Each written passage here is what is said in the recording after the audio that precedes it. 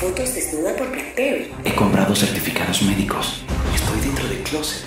Quiero un marido que me resuelva. Me encontré un celular y lo devolví. Voy a misa los domingos. He sido infiel. Panamá rompe el silencio. El siglo te trae la primera encuesta científica que revela el comportamiento sociológico y estilo de vida del panameño. Cada 15 días, resultados y opiniones en Buen Panameño. El pueblo habla. Una nueva sección del siglo con encuestas hechas por la firma SIG Gallup.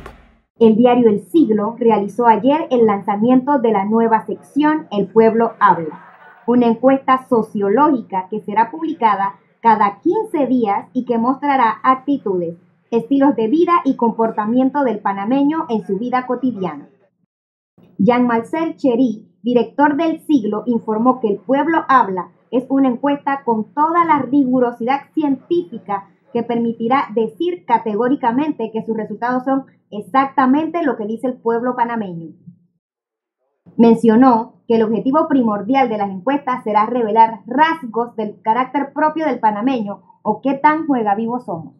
Y eh, para reforzar, somos el primer periódico tabloide con encuesta propia. Normalmente todos, todos los periódicos tienen encuestas indicadas con otros medios, somos el Panamá rompe el silencio como pueblo habla. Muchas gracias.